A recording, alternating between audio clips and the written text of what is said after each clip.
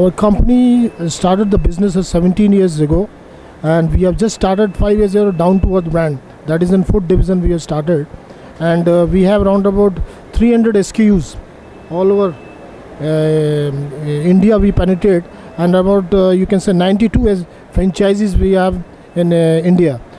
So basically, being a head of sales and marketing, we have grown up by, you can say, organic. Uh, we can grown up by around uh, 220 percent over Yago, that is year ago. And uh, if you talk about, uh, we normally participate in all type of fairs like Aahar, then BioFach.